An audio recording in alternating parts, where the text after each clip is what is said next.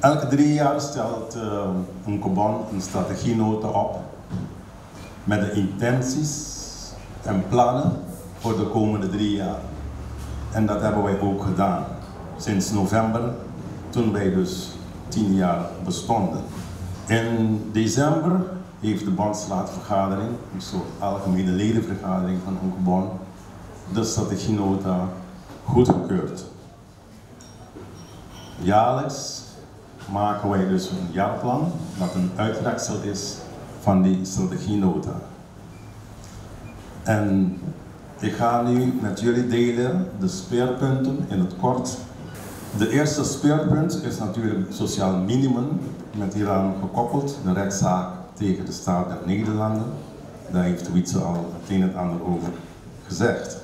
Tweede speerpunt is de eerste levensbehoeften, waarbij wij als prioriteit hebben vastgesteld voeding, en dat doen we samen met de tienda de consumidor. Tweede prioriteit is energie en water. Dat gaan we met, samen met OLB en uh, Web uh, samen doen. En hierop kom ik later terug bij de laatste speerpunt. Derde speerpunt zijn de alombekende wegen van Bonaire. Maar Onkopon blijft geloven dat dit probleem structureel opgelost moet worden.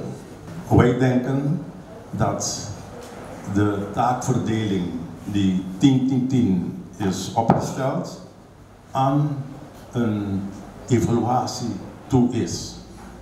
Er zijn dingen inderdaad goed gegaan, maar er zijn dingen die ook niet goed zijn gegaan. Qua wegen denken wij dat een deel van die oplossing samen met Nederland gedaan moet worden. Net zoals in Nederland een verdeling is tussen rijkswezen, rijkswegen, provinciale wegen en uh, gemeentelijke wegen, kunnen wij op de deling in tweeën doen.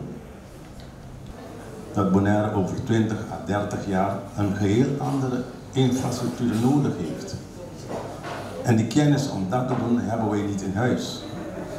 Dus logische oplossing is voor de aankomende regering, OLB-regering, om aan tafel te gaan zitten met de Nederlandse regering en dit probleem structureel op te lossen.